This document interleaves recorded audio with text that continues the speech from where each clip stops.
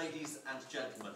Will and I have decided to bring something quite difficult to the House, and we appreciate your consideration in this. What I'm going to do uh, to follow on from what Will has talked about is deal with some issues around family, around socialisation, and around why we think enabling a child to stay with their family for as long as possible is a positive thing. But what we want to take issue with are a number of things that has been raised. And first and foremost is this idea that the parent are always going to be the primary caregiver. One of the problems with mental illness of this nature is that the parents reach the age of 70 or 80 and they die. And their children are 40 or 50 or 60 and are mentally still 4, 5 or 6. Ultimately, the parents are not going to be the caregiver. And sometimes we have to consider what is best for the future care options of that child. If somebody remains physically an infant, not only is it easier to find other people to care for them, ladies and gentlemen, you widen the pool of people able to look after somebody who is physically small and who is mentally undeveloped than you do somebody who is mentally undeveloped and physically large. We think there are more options there, ladies and gentlemen. We think that's a good thing. A few other things we take issue with. We did point out that this was a discretionary tool.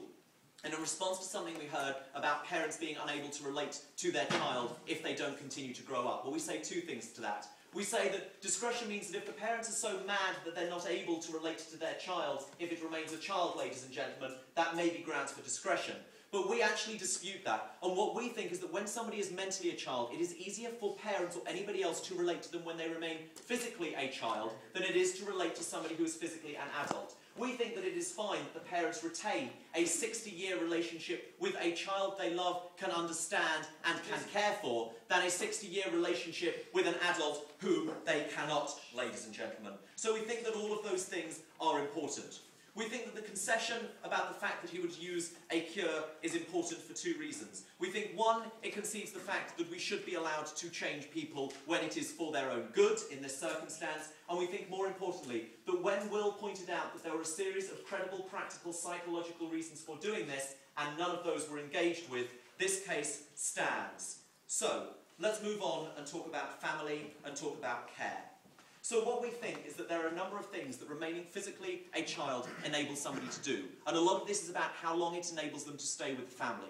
So there are some simple practical things like it's much easier to move a child around, you don't need a specialised bed, it's much easier to find a gate for the top of your stairs if your child happens to be slightly mobile than it is to restrain a fully grown adult. But we think it goes further than that. We think it's easier to find respite care. We think it is easier to find external support to care for somebody who does not have these physical problems. Not just yet, thank you.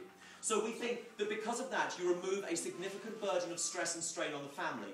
Not only the innate resentment that Will talked about that develops, but also the practicalities of can we face another week of looking after this person who is entirely dependent on us for 24 hours a day? And giving parents and families the choice and the option and the ability to continue to care for this person whom they brought into the world and who they love, we think is inherently positive. We also think, as I've mentioned, that it's much easier to find somebody to carry out future care. I'll take Emily in a moment. We think that under those circumstances, it is far preferable that we deal with all of the physical and all of the psychological burdens that our proposition eliminates and allows a family to stay together. Ms. Ravenscroft. Thank you. Um, but when you provide a band-aid solution, don't you basically disincentivize society from solving the real issue at hand, which is the fact that these people are discriminated against, often can't find long-term care if they look like adults? Right, ladies and gentlemen, we think that this proposition is in no way mutually exclusive to dealing with those things. But what we say is that under certain circumstances, this is simply the best solution for a specific set of people in need of a form of treatment. This is the best treatment for certain people under these conditions, and it should be given to them because it improves their standard of life. We think that this comes into an issue about parental choice and parental care. It's all sorts of things like we are willing to carry out treatments against the will of parents, even when there may be significant detrimental costs. I mean, the example might be leukemia treatment, for example. A lot of parents automatically respond negatively towards certain treatments that their children may require in their move around. But we carry out treatments which have permanent and irreversible changes imposed upon them. Leukemia is not always an irreversible treatment, ladies and gentlemen, but things like bone density and growth stunting are things which people naturally react to.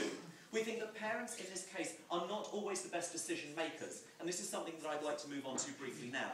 What we think is that choice making when you are a parent is not only about what you know and expect and what you learn and discuss, it is also about positive associations which you have with your own past experience. So what we see is that parents' positive past experience are about them growing up. It's about them anticipating that that was a positive process for them, that new opportunities came about, and new decisions and new were open to them. We don't think that under these circumstances, parents are able to have the understanding that that option is never there for that child, and that is why we think we should stand in. The last point I'd like to bring in is socialisation, no thank you, and social stigma. Because there are some instances where these children eventually end up, as Will pointed out, necessary to be restrained when a parent is not in the room with them permanently, strapped in a wheelchair and moved around because they cannot be trusted to be left out. And one of the problems is that they increasingly develop physically, the parents age, and the parents are no longer capable of physically caring for them or restraining them. What we see under our proposition is that when you can keep somebody physically young, what you are actually able to do is give them a reasonable level of practical social interaction. Be that with other people around them who can relate to them as a child, or sometimes, in the best possible circumstances, that is with other children who are of that age. What we say is that people develop meaningful relationships with peer groups they relate to. Whether that is a peer group of the same age, so children have friends who are children, teenagers friends who are teenagers, and adults friends who are adults. What we say is that the proposition facilitates the best possible social expression and social connection for these individuals, who will never be able to have any form of a relationship in the body of a 40-year-old with the mind of a six-year-old. We give them that possibility, ladies and gentlemen, and we think that is incredibly powerful. So, fundamentally, what have we told you on this side of the house? We believe that there is a real problem in terms of the lives that certain people live when they have disorders that means that they cannot mentally develop. We think a lot of the physical, psychological, practical, and health issues are attendant on their body aging when their mind does not, and it is the mismatch between those two which we deal with. Families are not usually able to cope even when families can cope, the physical harm to that child and the psychological trauma can in no way be fully mitigated. We give the best possible option to these young people, to their families, and we are very proud to stand on this side of the House.